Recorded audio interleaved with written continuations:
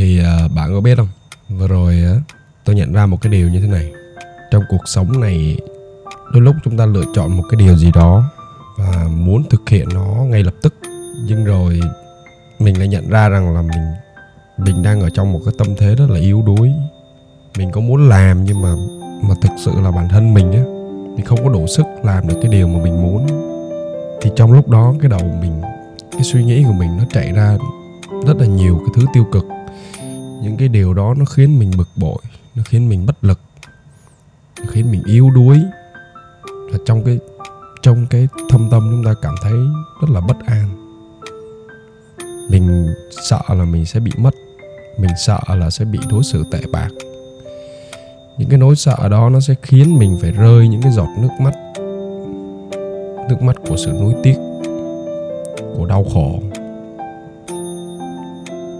Và rồi nhận ra rằng trong cái cuộc sống này, trong cái hành trình sống này, nếu mình không phải là kẻ mạnh, thì mình sẽ bị những cái thứ tiêu cực, những cái thứ tệ hại, nó sẽ dìm mình xuống dưới đáy. Cái đáy của sự tuyệt vọng, cái đáy của sự khinh bỉ, sự chê bai và những lời miệt thị.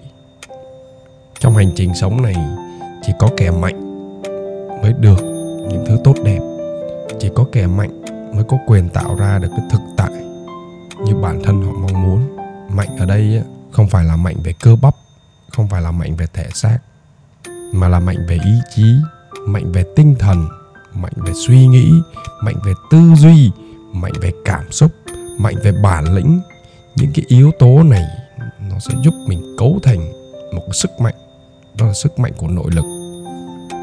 Sức mạnh của nội lực là một nguồn sức mạnh lớn lao nhất nó có thể khiến một cá thể vượt lên được mọi nghịch cảnh, vượt qua được mọi cám dỗ. Nó có thể tạo ra được kỳ quan riêng biệt cho mỗi chúng ta. Và nó có thể tạo ra được một thực tại đẹp đẽ, hạnh phúc và vui vẻ.